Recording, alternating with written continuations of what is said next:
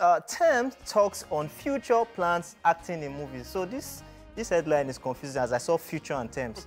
but anyways, Nigerian singer Tems is ready to take on the acting industry as she is eyeing an exciting character she can't wait to sink her teeth into. She made this known while, right, while speaking with BBC Capital Xtra London, saying, and I quote, I'm ready to act in movies. Not ready right now, but I'm already good at acting. The first character I would love to play is a single mom. He doesn't need to be struggling.